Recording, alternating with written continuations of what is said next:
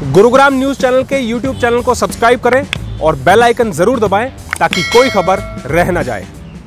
नमस्कार, मैं हूँ सुनील यादव और आप देख रहे हैं गुरुग्राम का पहला और number one web news channel, जहाँ दिखाई जाती हैं खबरें सिर्फ़ आपके शहर की। गुरुग्राम में आप अगर गाड़ी चलाते हैं, बाइक चलाते हैं या स्कूटर चलाते हैं और आपको ट्रैफ़िक पुलिस के जवान रोकते हैं और आपसे वो मिसबिहेव करते हैं तो आपको कैसा लगेगा? इन्हीं सब शिकायतों के बाद गुरुग्राम ट्रैफ़िक पुलिस ने एक नई मुहिम चलाई है।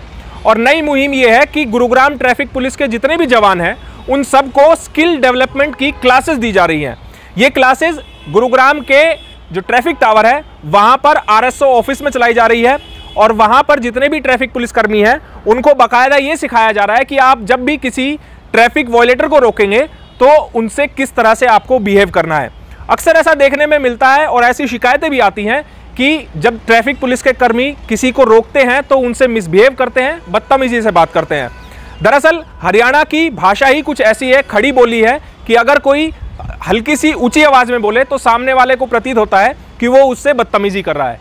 इन्हीं सब चीज़ों में बदलाव लाने के लिए, पब्लिक और पुलिस के बीच एक अच्छा सामंजस्य बिठाने के लिए इस मुहिम की शुरुआत की गई है, और डीसीपी ट्रैफ़िक के ऑफ़िस में ये सब चीज़ें अब ट्रैफ़िक पुलिस के कर्मियों को सिखाई जा रही हैं ताकि जब किसी भी गाड़ी चलाने वाले को जो ट्रैफ़िक नियमों की अवहेलना करता है, उनको रोका जाए तो उनके साथ तहजीब से पेश आए और सामने वाले को ये भी ना लगे कि उससे कोई बदतमीजी कर रहा है। ये स्किल डेवलपमेंट और हेल्थ को लेके हमारा ये प्रोग्राम हमने किया है। समय समय पर हम करते रहते हैं, लेकिन कोविड की वजह से काफ़ी दिनों से ये हो नहीं पाया था। अब स्टार्ट किया है।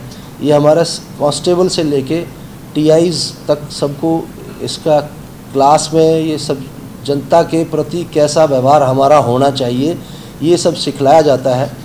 और उसको थ्योरी थेरेटिकल भी और प्रैक्टिकल भी, ये सब चीज़ें करके डेमो दे के सिखाई जाती हैं, ताकि उनका लंबी ड्यूटी रहती है स्ट्रेस में ना आए, लोगों के साथ बिहेवियर उनका अच्छा हो। और यही अपेक्षा हम जनता से भी करते हैं कि वो इनकी ड्यूटी हावर्स को देख के ड्यूटी आपके प्रति उनका समर्पण देख के, देखना चाहिए उन्हें।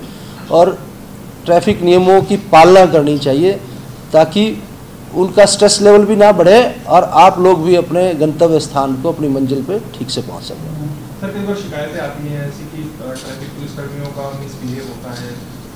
ऐसे में जब शिकायतें आती हैं तो क्या उसके बाद ये इस तरह के प्रोग्राम नेचुरली इस तरह की हमें मिलती हैं शिकायतें तभी हम ये चाहते हैं कि हमारे और एक नेचुरल वो भी रहता है कि कुछ ट्रैफ़िक में से बदल के दूसरे फ़ील्ड में भी चले जाते हैं। तब भी, जब भी नए जवान हमारे पास आते हैं, जड्डोज आते हैं तो हम ये स्किल डेवलपमेंट का प्रोग्राम चलाते हैं ताकि वो अपनी ड्यूटी को भली भांति समझ सकें और ग्राउंड पे भी अपना इफेक्टिवली ड्यूटी कर सकें। डीसीपी ट्रैफ़िक का कहना है कि इस तरह की क्लासेस समय समय पर लगाई जाती हैं ताकि जो नई भर्तियाँ ट्रैफ़िक पुलिस में होती हैं, उनको इन सब स्किल डेवलपमेंट के बारे में बताया जा सके और सड़कों पर जब वो किसी ट्रैफ़िक वॉलेटर को रोकते हैं तो उनसे तहजीब से पेश आएँ। ऐसा नहीं है कि इस तरह की क्लासेस पहली बार हो रही हैं।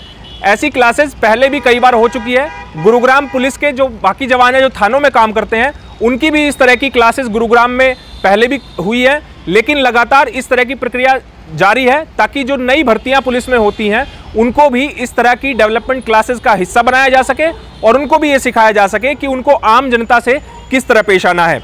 गुरुग्राम ट्रैफ़िक पुलिस की जनता से भी अपील है कि जब उनको भी कोई ट्रैफ़िक पुलिसकर्मी रोकता है तो वो भी ट्रैफ़िक पुलिस कर्मियों के साथ संयम से पेश आए, तहजीब से पेश आए, ताकि शहर की ट्रैफ़िक व्यवस्था को ठीक तरीके से चलाया जा सके और जनता और पुलिस के बीच एक अच्छा सामंजस्य बिठाया जा सके।